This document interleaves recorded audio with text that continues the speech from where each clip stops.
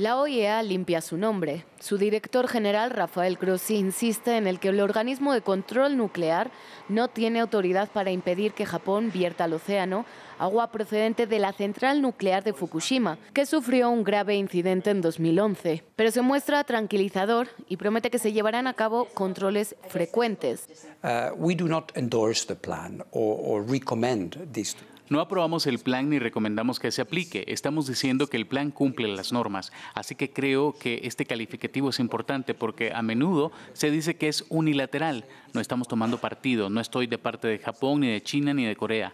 Las normas se aplican a todos por igual. China. The standards apply to all in the same way.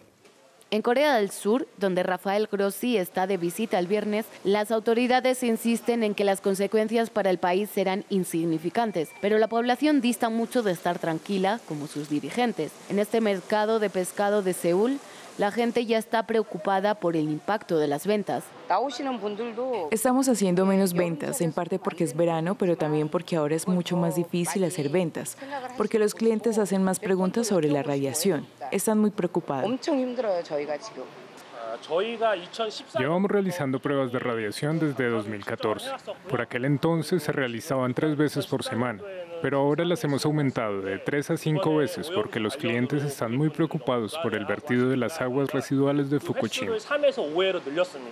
Una vez tratadas y diluidas, se espera que Japón vierta al océano más de 1,3 millones de toneladas de agua contaminada.